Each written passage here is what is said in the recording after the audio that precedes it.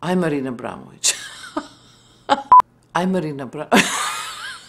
Actually, this is the best movie we are making right now. I would like to tell you about a movie that only can be made in New York City. What's the movie called? The movie is called The Artist is Present. No, it's called Marina Abramovic, The Artist is Present. The movie is called Marina Abramovic, The Artist is Present.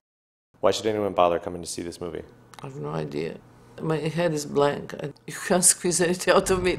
Two years ago, in the Museum of Modern Art, I sat in silence for three months. This was the most important show of my life.